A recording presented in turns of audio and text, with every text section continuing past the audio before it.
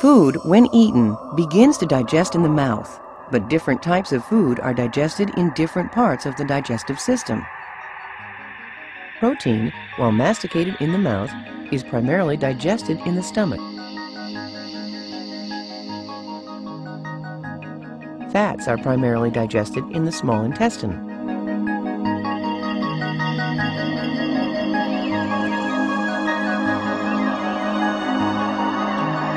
Process of carbohydrate digestion begins in the mouth with the release of the amylase enzyme. In the mouth, amylase enzymes begin to break apart the bonds holding the carbohydrate polysaccharide sugars together.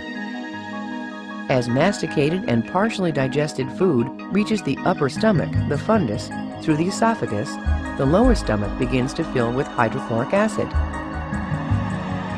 Additional carbohydrate digestion continues from the mouth in the upper stomach. Protein is primarily digested in the stomach. Protein digesting enzymes break apart the bonds holding the amino acids of protein.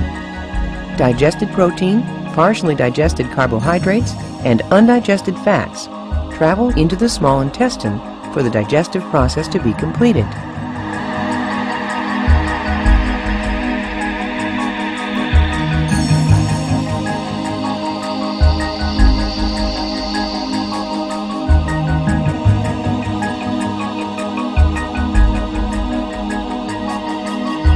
In the small intestine, amylase completes the digestion of carbohydrates.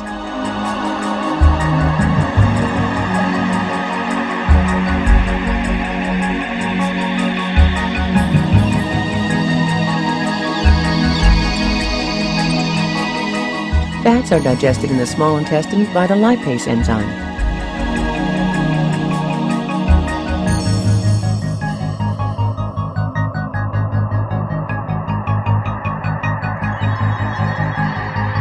Digested protein, carbohydrates, and fats are then absorbed through the villi of the small intestine into the bloodstream, where crucial life sustaining nutrients are distributed throughout the body.